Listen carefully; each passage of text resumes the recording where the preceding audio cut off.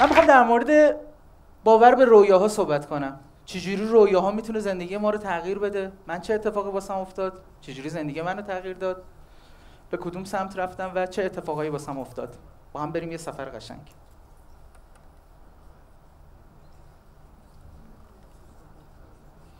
این تصویری که می‌بینی تصویر خانواده ماست. من پدرم و برادر بزرگم.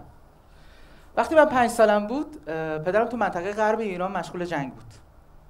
نبرد جلوی دشمنی که به ایران تجاوز کرده بود. برای مادرم که نامه ارسال می‌کرد همیشه همراه نامش یه دونه میوه بلوط هم میفرستاد. من و برادرم از بچگیمون با این دونه بلوط آشنا شدیم. خب خیلی میوه خوشگلیه هیچ که نمی‌تونه انکارش بکنه. همیشه واسم سوال بودش که چرا توی زندگی ما این میوه درخت بلوط وارد شد؟ چه نقشه توی زندگیمون داره و ما چه تاثیر پذیری از این درخت توی زندگیمون ایجاد شدش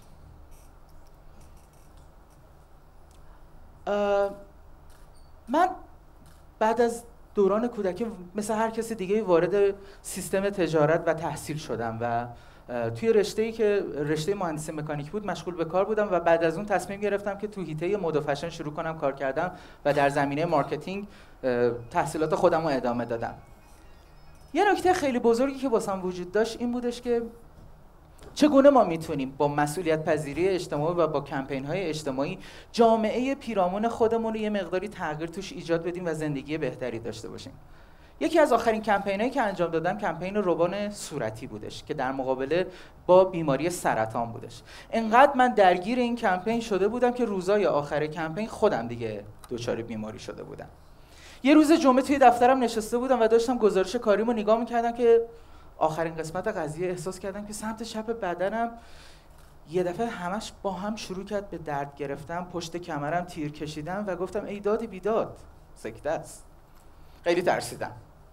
همون لحظه کارو ول کردم و رفتم سمت بیمارستان و از غذای روزگار پزشک کیشی که بخش منو یک ضرب برد بخش مراقبت های ویژه و گفت چرا انقدر دیر اومدی؟ من بستری شدم به همین سادگی و شروع کردم لحظات خیلی جدی رو با مرگ دست و پنجه نرم کردن. درسته. تا دو روز قبلش داشتم به این موضوع فکر می‌کردم که چجوری جلوی مرگ رو بگیرم تو جامعه و الان خودم نفر اصلی مواجهه با این فایت بزرگ شده بودم. ناراحت کننده است. هیچ کسی نمی‌تونه بگه ناراحت کننده نیست. اینکه یه سری از مسائل توی زندگی آدم بخواد یه باره استاپ بشه.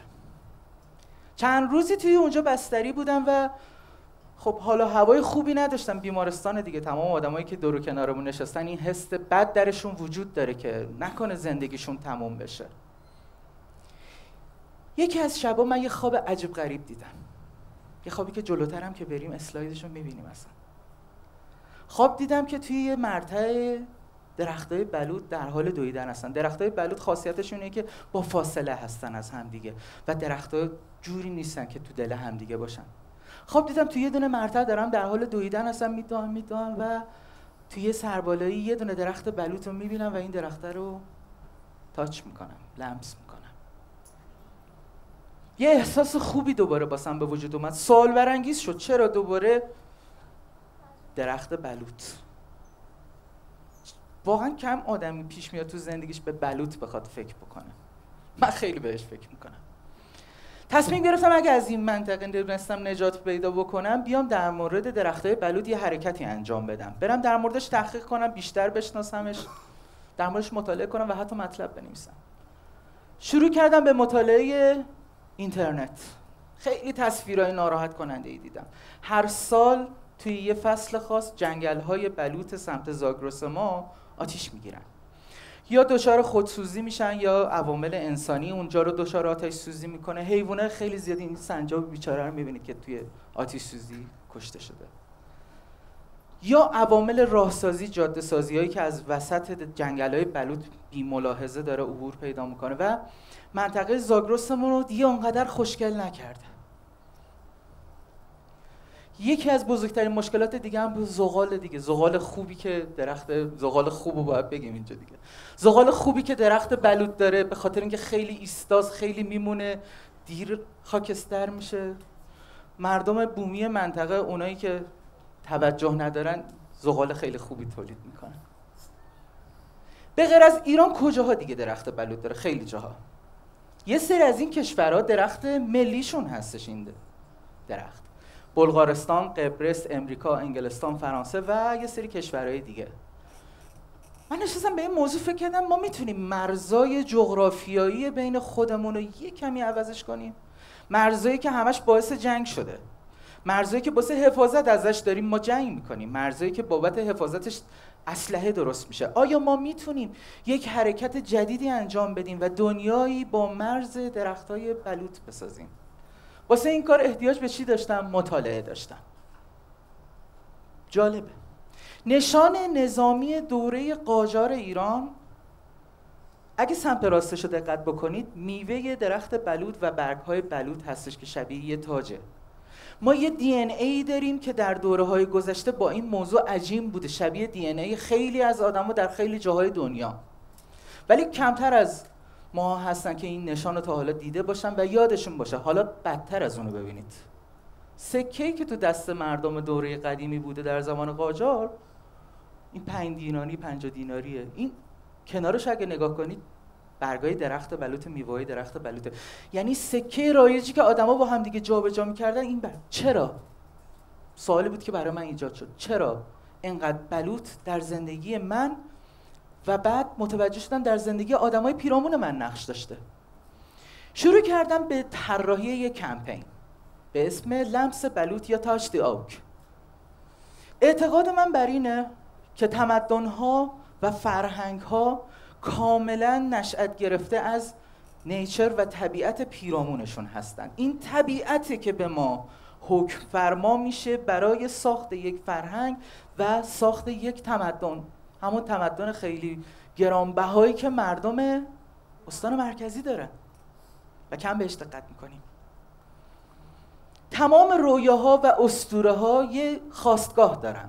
خواستگاه اسطوره های ما کجا میشه؟ طبیعت پیرامونمون میشه. پس من می‌تونستم با زبان طبیعت یا اتفاق جدید بیارم. درخت بلوط خیلی قدیمی نیست مال ایرانیا منطقه زاگرس ما یک بار طعم خوب نجات پیدا کردن توسط بلوط چشیده. در زمان جنگ جهانی اول جنگ خانمانسوز جهانی اول باید اینو حتما خانمانسوز بهش اضافه بکنید. تو سالهای 1917 تا 1919 یک قحطی عجیب غریب در ایران اتفاق میفته که میگن تو خیابونا جسدا رو جمع می‌کردن. انقدر و کمتر می‌بینید که به این موضوع اشاره بشه.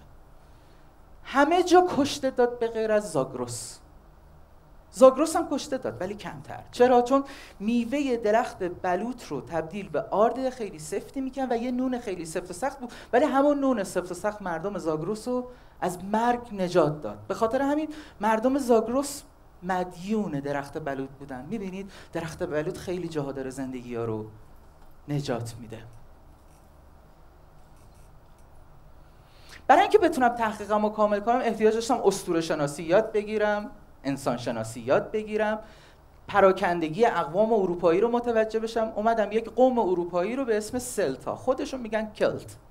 سلتا رو اومدم انتخاب کردم. سلتا همون اقوام هند اروپایی بودن که بعد از عصر یخبندان اومده بودن تو مرکز اروپا شمال غربی اروپا و غرب اروپا ساکن شده بودن.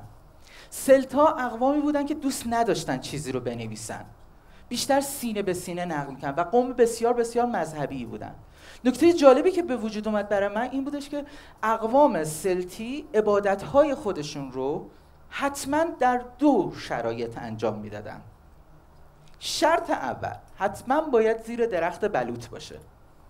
شرط دوم حتما باید سنگچین هایی دورشون باشه که به سمت آسمون باشه. بزرگترین سنگچینی که به سمت آسمونه کجاست؟ استونهنج همه دیدید. واسه همه سواله که این استونهنج چجوری این تصویر رو برای آدم ها شکل داده؟ خب سلتا رو توی ذهنتون داشته باشید. یونانی های باستان هم همین اتفاق براشون افتاده. زئوس یکی از خدایان مشهور دنیای باستان یونانی ها همیشه روی یک درخت بلوط بوده که حکم فرمایی می‌کرده. کامندرهای رومی و فرمانده های رومی هر وقت توی نبردشون از یک رومی دیگه دفاع می‌کردن و باعث می‌شدن جون اون تو خطر نیفته وقتی که توی شهر خودشون برمیگشتن نشانی بهشون می‌دادن که یک تاج برگ بلوط بوده.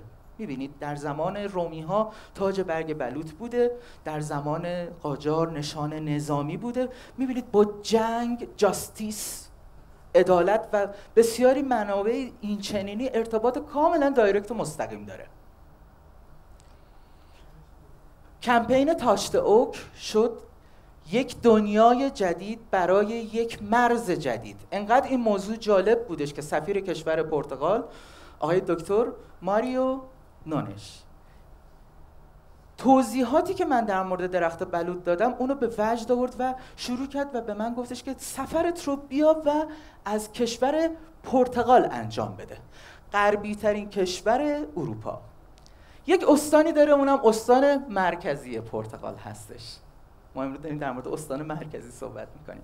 استان مرکزی پرتغال اسمش استان النتیجو هستش.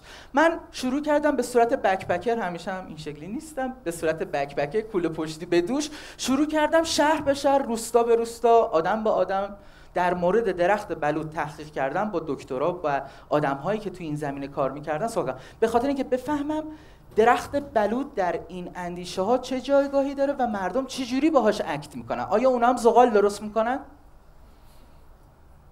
بریم ببینیم زغال درست می‌کنن اولین شهری که رفتم به اسم مونتمور بود. خب این شهر یک شهری بودش که برای دوره خدمتتون عرض کنم دوران prehistoric بودش.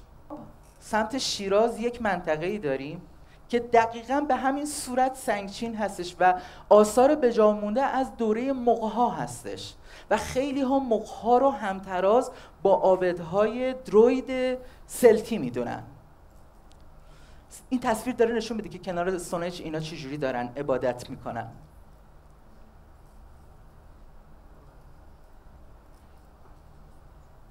این هم همون منطقه در داراب شیراز هستش که می‌بینید. و جنگل های بلوط زاگرس یادتون باشه که تا جنوب شیراز ادامه پیدا می‌کنه. یعنی یک منطقه وسیعی رو از سمت شمال غرب تا جنوب غرب این داره سابلای می‌کنه. خیلی مهمه بدونید که دین سلتی ها تا الان هم ادامه پیدا کرده. من تو جریان سفرام تونستم با رهبر مذهبیشون ریچارد فلیپ بتونم ارتباط برقرار کنم. و اونها همین الان و همین حال حاضر هم عبادت های خودشون رو زیر درخت بلوط انجام میدن و به یک فلسفه و یک منشن خیلی قوی برگشته. یه جمله جالب یه متن خیلی جالب می‌خوام بهتون بگم. می‌دونید ما لغت در رو زیاد به کار می‌بریم. پیش خودتون فکر کردین چرا ما به در میگیم؟ در و به زبان انگلیسی هم به در میگن دور. این دوتا اینقدر چقدر به هم نزدیکن. ریشه در از یک لغت سلتی اومده به اسم دروید. من of اوکس انسانهای بلوطی. یکی از تمام تلاش های من این بودش که بتونم اون خدای بلوط و تصویرش رو توی سفران بتونم پیدا کنم. سلت ها اعتقاد داشتن که درخت بلوط به دلیل بزرگی و عروس جنگل بودنش و ریشه های خیلی بلندی که داره و شاخه های خیلی وسیعی که داره حد فاصله بین دنیای زیرین و دنیای آسمان هاست. پس پل ارتباطی بین دو تا دنیاست و در هم همین معنی رو داره. در پل ارتباطی بین دو فضا. پس لغت در برگرفته شده از یک ریشه که به بلوط ارتباط داره بودش. شهر بعدی که میرم شهر اورا بودش شهر اورا یکی از شهرهای دوره رومی های باستان بودش که آثار رومی ها هنوز هم بر جای مونده بود. خیلی از اسطوره هایی که من فقط مطالعه کرده بودم توی این شهر نمادش رو پیدا کردم. اینجا با دکتری به اسم پروفسور فاطیما نونش صحبت کردم و به من توضیح داد که چرا بلوط در منطقه آلنتجوی پرتغال انقدر اهمیت داره. چون مردم از بلوط معیشت به دست میارن. چون زیر چتر درخت بلوط دارن زندگی می‌کنن. در پرتغال یک عملی انجام میدن به اسم عمل هاروست کردن. شاخه پوست درخت بلوط رو هر چند سال یک بار ازش جدا می‌کنن و این جدا کردن باعث میشه که ماده اولیه چوب پنبه حاصل بشه. تمام جنگل های اونجا درخت ها همه شماره گذاری شده هستند این شماره گذاری ها نشون دهنده سالهای گذروندن هاروستینگ های اولیه روی درخت ها هستش. آخرین نقطه‌ای که میرم سفر می‌کنم عجیب ترین قسمتش بود که خدای بلوط اونجا پیدا می‌کنم. شهری به اسم شهر مرتولا. شبیه خرم نی؟ ما داریم تلاش می‌کنیم که این دوتا شهر رو با هم توهین کنیم. چون خواهرخوانده هستن بلوط دارن رودخونه پایینشون دارن قلعه بالاشون دارن و مردمی هستن که کاملا رفتار زندگیشون شبیه هم هستش. کشاورزیشون صنایع دستیشون گلیم بافیشون توی یک کلیسا که در زمان رومی ها این یک تمپل و یک معبد بود و بعد از اون اومد تبدیل شد به یک مسجد و بعد از مسجد دوباره بعد جنگ های صلیبی اومد تبدیل شد به چی؟ تبدیل به کلیسا.